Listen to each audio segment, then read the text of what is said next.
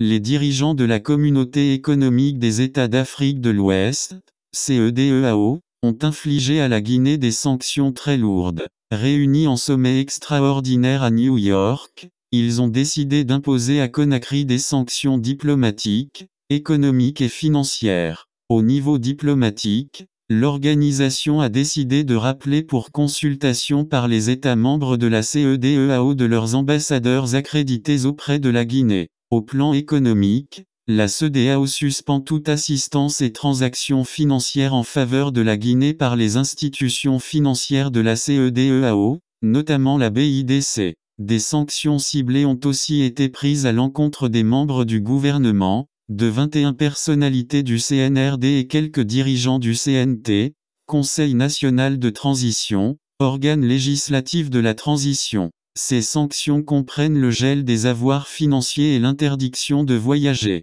Une punition très sévère qui aura sans nul doute un impact sur le pays et ses dirigeants. Les leaders ouest-africains n'entendent pas se limiter là. Ils avertissent qu'à défaut de l'établissement d'un chronogramme de transition acceptable, des sanctions supplémentaires plus sévères seront envisagées. Un ultimatum d'un mois a été donné à la junte à compter du 22 septembre 2022. Dès lors, il y a lieu de s'interroger. Pourquoi la CEDEAO a-t-elle choisi la ligne dure? L'autorité sous-régionale a noté que depuis le 3 juillet dernier, des progrès insuffisants ont été réalisés en ce qui concerne l'établissement d'un chronogramme de transition acceptable, d'où les sanctions. Ces sanctions ont été prises dans le souci de faciliter le processus de retour rapide à l'ordre constitutionnel en Guinée, une condition préalable à la paix, à la stabilité et au développement, a justifié la CEDEAO dans son communiqué final. Les chefs d'État engagent toutes les institutions de la communauté à prendre des mesures assurant l'application immédiate de ces sanctions et appellent l'Union africaine,